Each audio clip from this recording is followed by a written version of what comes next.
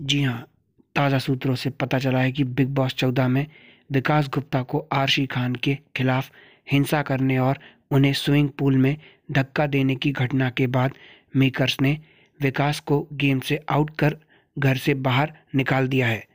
बताया जा रहा है कि पूल में धक्का दिए जाने के बाद आरशी खान ने इस बात को बिग बॉस के सामने उठाया और मुद्दा बनाया और उनके खिलाफ एक्शन लेने की मांग की।